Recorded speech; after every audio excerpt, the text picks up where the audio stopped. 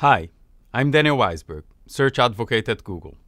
And today I'll show you how to request your content to be temporarily hidden in Google search results using the Removals report in Search Console. And I'll also talk about the ways to review requests made by other users to remove outdated or inappropriate content on your site.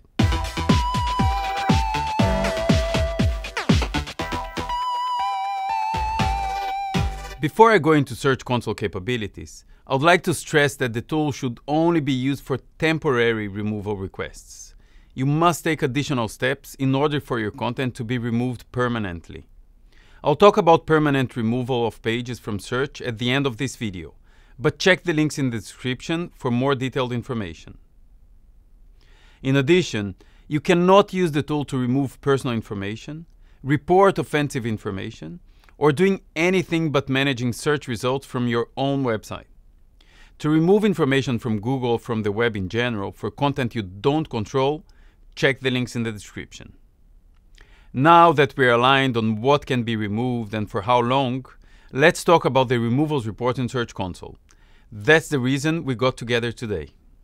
The removals report is divided into three main sections temporary removals, outdated content, and safe search filtering requests.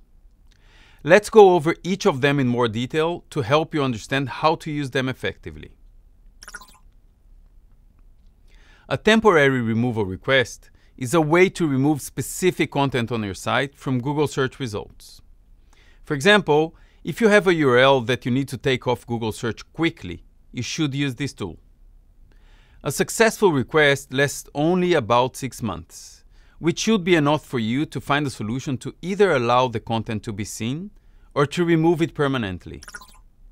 When you log into Search Console, you'll find the Removals report in the navigation bar. Select the Temporary Removals tab, if it's not already selected, to submit a new removal request. Then click New Request. You have two types of requests available temporarily remove URL will block the URL from Google search results for about six months. This will also clear the cached copy of the page. Use this option as a quick first step when permanently blocking a page from Google search results.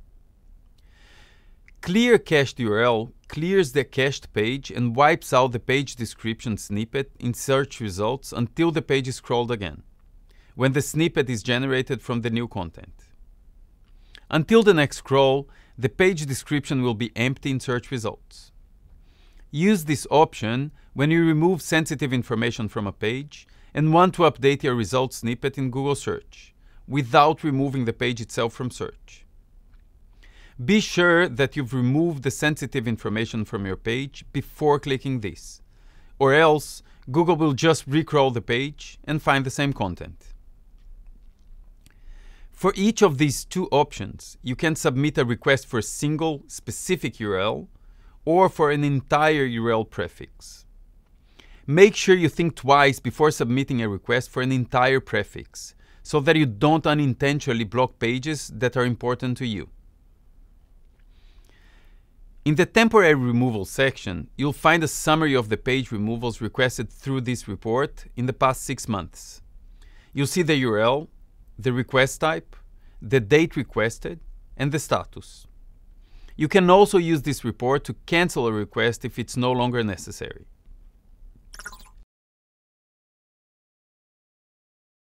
The Outdated Content section provides information on removal requests made through the public Remove Outdated Content tool, which can be used by anyone to update search results showing information that is no longer present on a page. This is something that you probably won't need to look at much, since Google users can't force your pages from search using this tool. There are two types of requests. Outdated cache removal is used when the page still exists, but some content has been removed. Google clears the page snippet in the search result until the next crawl, and searches for the removed content will no longer show this page. Outdated page removal is used when the page no longer exists and a user has requested its removal from the Google search results. The report table shows the history of all submitted requests for this property in the past six months using the public remove outdated content. I won't go into the tool in this video, but you can check the links in the description to learn more about it. Whether you're using search at work, with your family, or for yourself, Safe Search can help filter most sexually explicit results. In addition to setting your personal account preferences, parents can turn on the filter for their kids' supervised devices, and workplaces or schools can turn on the filter at the network level. The Safe Search filtering section in Search Console shows a history of pages on your site that were reported by Google users as adult content using the Safe Search suggestion tool. URLs submitted using this tool are reviewed. And if Google feels that this content should be filtered from Safe Search results, these URLs are tagged as adult content. The report table shows the history of all submitted Safe Search requests for this property in the past six months. Check the links in the description to learn more about it.